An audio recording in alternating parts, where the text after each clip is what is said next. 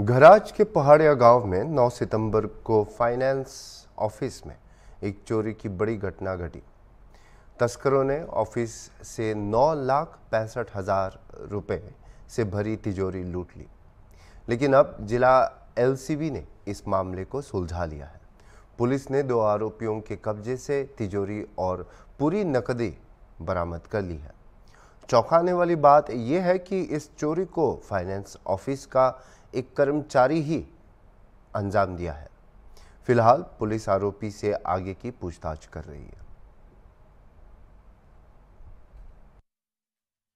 Nine सितंबर को Meghraj police station में एक बातमी मिली कि जो लाइट माइक्रो फाइनेंस की जो ब्रांच है रामगढ़ी के पास, उसमें चोरी हुई है। जब मेघरज पुलिस स्टेशन के स्टाफ वहाँ पहुँचे तो हमें ये पता चला कि करीबन नौ लाख सिक्सटी फाइव थाउज़ेंड के पैसे एवं डीवीआर दो मोबाइल्स, तिजोरी, ये सब चोरी किए गए थे।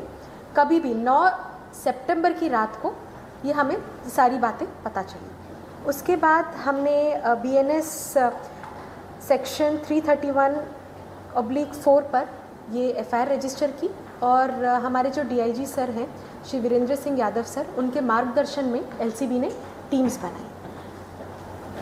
टेक्निकल सर्वेलेंस और ह्यूमन सोर्सेज के आधार पर एक पिकअप डाला को रिकॉग्नाइज किया गया। बोलेरो पिकअप डाला था जिसमें ये सारा वो उसका शंकास्पद एक्टिविटी लग रही थी। ये माइक्रो फाइनेंस कंपनी के पास जिसमें सारा मटेरियल जो मुद्दा माल था वो मेघरज से बाहर ले जाया जा रहा था। वहीं आसपास घुमाया जा रहा था। एल uh, की एक टीम ने बैठकर सारा टेक्निकल एविडेंस को बहुत अच्छे से एनालाइज कर कर जो पिकअप डाला का जो ओनर है, रामचंद शाना भाई डामोर, उस पर हमने ज़ीरो इन किया, जो मेघरज का रहने वाला है राजपुर में, उसको पहले पकड़ा, हमारी टीम्स बनाकर कॉर्डन ऑफ़ कर कर, उसके घर से।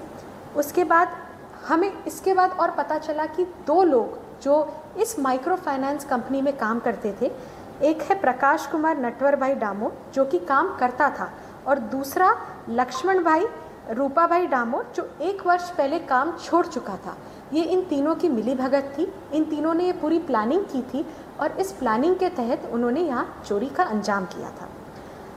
एल uh, की जो टीम है led by L C B P I H P Garasia इन्होंने पूरा पूरा मुद्दा माल रिकवर किया। जितने रोकड़ रकम है nine lakh sixty five thousand वो रिकवर हुए।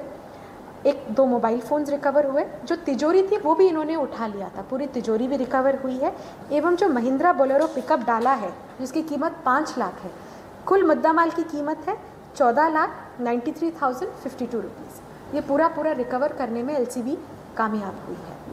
तो पहले कोई किसी क्राइम को जो अंजाम दिया या फिर मॉडल एमओ क्या थी ऐसा कुछ? जी नहीं इन्होंने कोई भी ऐसा पहले इनके खिलाफ़ कोई एफआईआर रजिस्टर नहीं है। ये तीनों आरोपी में से एक, दो जो आरोपी थे, वो यही माइक्रो फाइनेंस कंपनी में काम करते थे। तो उनको पूरा जो माइक्रो फाइनेंस कंपनी का जो पूरा वर्किंग है, उन्हें पता था कि कब यहाँ पैसे रहने वाले हैं, कब ये पैसे उठाने वाले हैं, वो सारी चीज़ें उन्हें पता थी। इसमें से दो जो आरोपी हमने पकड़े हैं उसमें से एक mike light micro finance company में काम करता है, और एक जो वांटेड आरोपी है, लक्ष्मण भाई, वो अभी पकड़ने को बाकी है। वो एक साल पहले इस माइक्रो फाइनेंस कंपनी में